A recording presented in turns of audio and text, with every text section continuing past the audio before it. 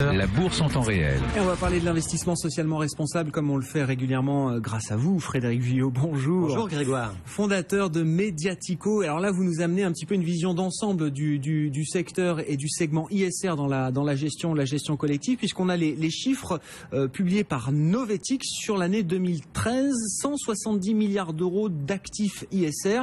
C'est pas mal. Voilà, exactement. Hein. On était à 150 milliards d'euros l'année d'avant. On est passé à 170 milliards d'euros d'actifs sous gestion, sous gestion ISR. Ça fait une progression de 14%. Il y a 10 ans, c'était 4 milliards d'euros. Donc, euh, on a un coefficient multiplicateur de 40. Donc, c'est assez considérable. Ça montre la préoccupation, évidemment, des investisseurs pour des placements porteurs de sens, pour des investissements qui ont un impact environnemental, social ou en matière de gouvernance des entreprises. Sauf que, on voit aussi dans les chiffres de Novetic, qui est le grand spécialiste en France de l'ISR, que la progression du marché ISR est en train de ralentir. Il y a deux ans, la progression avait été de 69%. L'an dernier, elle était de 29%. Et cette année, elle n'est que de 14%. C'est pas mal, mais ça se réduit très nettement. Alors, c'est peut-être même un petit peu moins encore parce que pour la première fois cette année, Novetic inclut dans son chiffrage des actifs immobiliers ISR. Il y en a pour à peu près 2 milliards d'euros. Bon, bah, ce ralentissement, il est ennuyeux. D'abord parce qu'on aurait pu penser que la crise financière aurait dû relancer la thématique de l'investissement responsable. Et puis, deuxièmement, parce qu'au fond, on pourrait presque croire à un début de saturation, de maturation, en tous les cas du marché. Ça n'est absolument pas le cas. 170 milliards d'euros d'actifs ISR, c'est à peine 5% de l'asset management en France. Bon, donc il y, y, a encore de la place, hein, semble-t-il. L'immobilier ISR, vous nous direz tout à l'heure ce que c'est, mais quelles sont les, les, grandes maisons, les grandes institutions là qui sont moteurs du développement de l'ISR en France aujourd'hui? Alors c'est vrai que les institutionnels, c'est 75% du marché de l'ISR, les particuliers 25%. Le numéro 1 en France, c'est Amundi, 70 milliards d'euros ISR à lui tout seul sur un volume donc de 170 milliards, avec Amundi qui refuse néanmoins de préciser ses techniques de gestion Novetic et ça c'est un peu embêtant parce que ça empêche d'avoir une bonne lisibilité du marché. Derrière Amundi, on trouve BNP Paribas, on trouve Mirova, on trouve Ophi Asset Management. Et le marché des institutionnels, il progresse finalement relativement peu, 10% d'augmentation sur un an, alors que le marché des particuliers, lui, il a augmenté de 20%.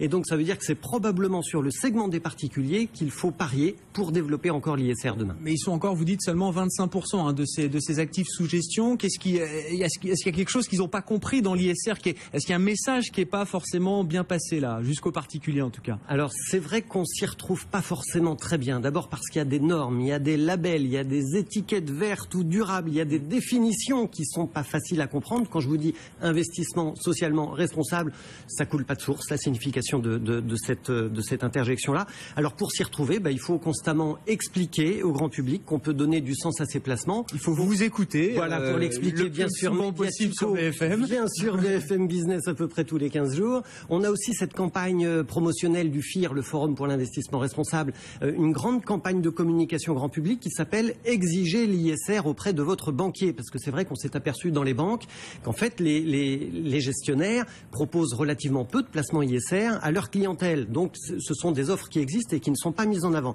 Et puis on a bien sûr Novetic, qui est un centre de recherche sur l'ISR, filiale de la Caisse des dépôts, mais qui est aussi un média expert de l'investissement socialement responsable. Novetic qui vient de lancer un tout nouveau site web flambant neuf euh, qui permet de bien comprendre les enjeux de l'investissement responsable et qu'il faut bien sûr aller visiter. Le but de toutes ces actions-là, c'est toujours de faire de la pédagogie, de l'explication auprès du grand public. Bon, et puis il y a de tout dans ces placements ISR. Hein. C'est vrai que quand on est particulier, on aime bien avoir une gestion un peu patrimoniale, avoir un petit peu de tout, être diversifié. Et il y a donc cet immobilier ISR. Qu'est-ce que c'est que ça, l'immobilier ISR Alors on en parle encore relativement peu. Vous savez que dans le secteur immobilier, euh, on communique beaucoup, assez facilement en tous les cas, sur tout ce qui est relatif à l'environnement. Alors la consommation en eau, la consommation en énergie de mon nouveau bâtiment, les bâtiments basse consommation, on a tous déjà entendu parler de ça. Bon, avec les critères ESG, on va plus loin. On va regarder, par exemple, la valeur ajoutée sociale d'un bâtiment qui est en cours de construction. Euh, C'est-à-dire, par exemple, les critères d'accessibilité ou handicapés, qui vont, des critères qui au-delà du minimum requis par la loi, bien entendu. On va regarder aussi quelle est l'utilité sociale de ce bâtiment dans son quartier. Et puis, avec l'ISR, l'investissement socialement responsable, on est encore plus exigeant parce que le gérant ISR va noter les actifs, il va exclure les moins performants, et puis puis, il va faire des recommandations, par exemple pour le chantier de BTP qui est en train de construire l'immeuble. Bon, vous voyez qu'on est dans une approche responsable des investissements immobiliers. Et aujourd'hui, en France, on a 11 OPCI, des organismes de placement collectif en immobilier, qui sont dans cette démarche-là. Ils pèsent 1,8 milliard d'euros. Bon, et puis un mot au passage, parce qu'on est dans la saison des, assemblées générales des, grands groupes français, euh, notamment. Euh, est-ce que le, gérant ISR est plus actif, plus interventionniste au cours de ces, rendez-vous qui sont toujours importants pour, euh, bah, pour l'ensemble des, actionnaires d'une société Alors, pas tous, mais la plupart, oui. Alors d'abord, il faut savoir quand même que quand on est actionnaire, on a le droit de voter à l'Assemblée générale, on peut s'exprimer, on peut essayer d'influer sur les décisions de l'entreprise. Ça s'appelle l'engagement actionnarial. Alors, Novetic a sondé un petit peu les acteurs de la place. Il y en a 12, 12 acteurs ISR qui sont pour la plupart des sociétés de gestion qui s'inscrivent dans cette démarche d'engagement actionnarial. Sur les 12, on en a 8 qui ont déjà réussi à peser sur les décisions de l'entreprise pas peser à chaque fois, c'est grosso modo une fois sur trois. Et puis, il y en a sept qui, parallèlement, ont soldé des positions quand leurs recommandations n'étaient pas suivies d'effet sur, par exemple, la transparence des rémunérations des dirigeants, sur l'indépendance du conseil d'administration, sur euh, la chaîne des fournisseurs. Donc, vous voyez comment la gestion ISR permet finalement d'avoir un impact concret sur les entreprises.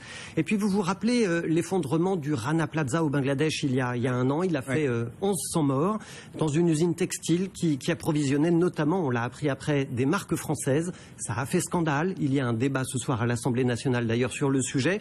Eh bien, aujourd'hui, les gérants ISR, effectivement, pointent la responsabilité des multinationales dans le choix de leurs fournisseurs. Quand ça ne va pas, ils le disent. Quand ça ne va pas, ils votent. Et ça peut contribuer à faire changer les choses. Merci beaucoup, Frédéric. Frédéric Vuillot, donc, euh, à écouter eh bien, euh, sans, euh, sans mesure hein, sur l'ISR tous les 15 jours sur BFM Business, le fondateur de Mediatico. On va rentrer dans la dernière heure de, cotation de nos marchés en